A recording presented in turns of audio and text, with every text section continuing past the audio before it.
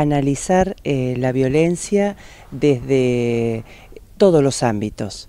Em, la idea es, por lo menos desde nuestra exposición, em, hablar de que el derecho eh, por sí solo no le encuentra la solución a la violencia. Al contrario, necesita de eh, todos los demás agentes de la sociedad para poder em, acercarnos a una alternativa de abordaje exitosa y enfrentar esta, esta violencia y, poder eh, dar una respuesta a la sociedad.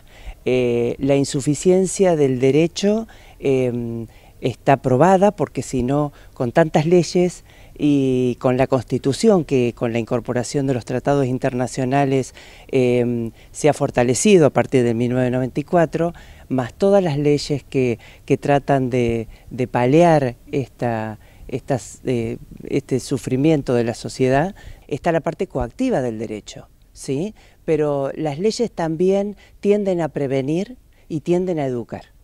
¿sí? Así que este, la mirada es más amplia, pero insisto, eh, es insuficiente. Necesitamos de todos para pararnos frente a la violencia. Y la idea de la jornada de hoy es esta, es eh, preguntarnos qué está pasando porque eh, tanto se trabaja y parece que en realidad es cada vez más grave. Entonces en algo estamos fallando, algo está faltando.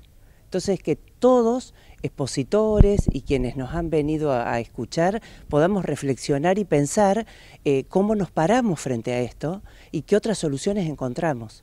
La agresividad, y nosotros hacemos una diferencia, eso es lo que pienso plantear eh, en la disertación, la diferencia que hay entre la agresividad y la violencia, que son dos cosas distintas, y la distintas formas de violencia, ¿no? que, que van desde, esta mañana se estuvo hablando de lo que es el ámbito escolar, la violencia en el ámbito escolar, que, que ya ahí en ese espacio hay muchísima variedad, pero después está todo lo que es la violencia de género, lo que es eh, la violencia racial, eh, bueno, eh, todo lo que es la problemática delincuencial.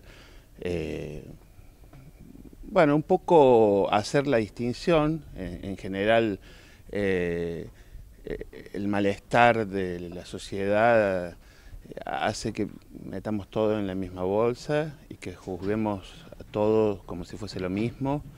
Eh, en principio, eh, el interés del psicoanálisis es poder distinguir los fenómenos y las diferentes estructuras que tienen